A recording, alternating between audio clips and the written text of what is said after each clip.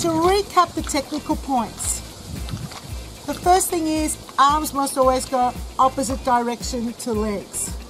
The body must go up vertically. Then from the feet, you're on your toes, toes pointing forwards as the leg lifts up to the side. Your fingers and your palms turn in the same direction with fingers wide apart. Arms are lengthened and chin tucked in with the eyes pointing forwards.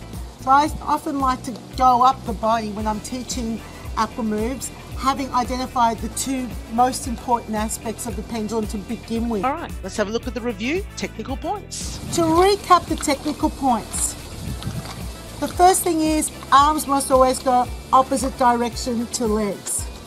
The body must go up vertically. Then from the feet, you're on your toes, toes pointing forwards as the leg lifts up to the side. Your fingers and your palms turn in the same direction with fingers wide apart.